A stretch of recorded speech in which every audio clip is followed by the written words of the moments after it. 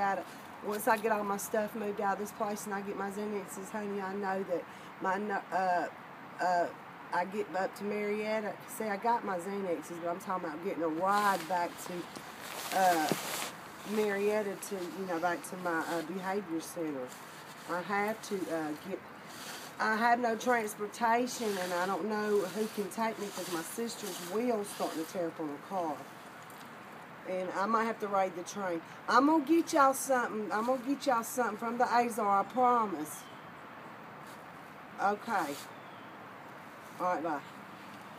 They're having a party and their kids are not going to be around, and they want the the the cheapest I know because I can't. I'm not going to no big liquor stores and get way up that way if I don't have to because it's dangerous. I'd rather go towards the Azar, wouldn't you? Ah, the Azar is expensive though. It's No, kind they of got them little bitty bottles. Um, they they Oh. don't drink that much. They drink once in a blue moon, and they not their children's gonna not be Oh, around nice. the the other weekend. I don't know if it's this weekend, next weekend. Wh- What's up? Uh, You guys moving out? I already did. I just got to clean it up, mop Oh, it, sweep it real good, and um, leave it nice for the rent man. I'm gonna leave some paint for the front porch too. That Olympics green paint. You think green Yeah. would look good on that porch? Yeah, you should probably green? paint it. Yeah, or do you have any? Well, I can't paint it till I get all my stuff out, or they gonna sit it on the street Yeah. today. It ain't much left, uh, you know. It's like a. What happened last night at like three in the morning? Why? What happened over in Cabbagetown that this kid I don't was saying? know, man. I've been. It was as- like that white asleep. Chevy. It was like a white Chevy with a blonde-headed girl in it. Yeah. She's trouble, man. Her husband, her boyfriend's locked up. He's facing five years, and he ain't but fifteen. Oh my god. Spencer, and That's she's crazy. got two babies by him. I don't know what happened, man.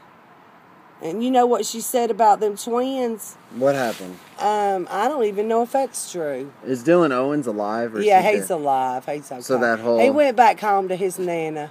That's different than No, he was threatening out. suicide, and he called everybody and told, uh, so, got somebody to tell people that he was he got shot in the head, and it went to the church.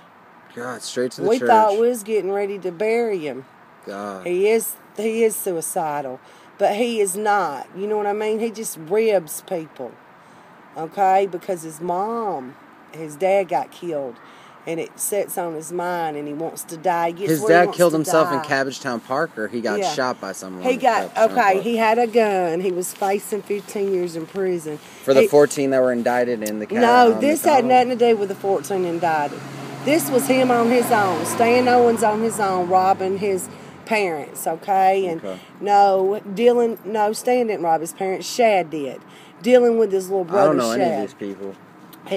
Okay, this is back when I was growing up. I didn't deal with nothing. All I did was raise my kids and Yeah. stay in the house, okay, and, and stay away from them.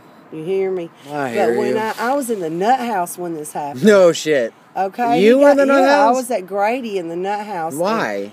Uh, because of uh, my, they signed me in because I threw a I'm getting a brick in the air.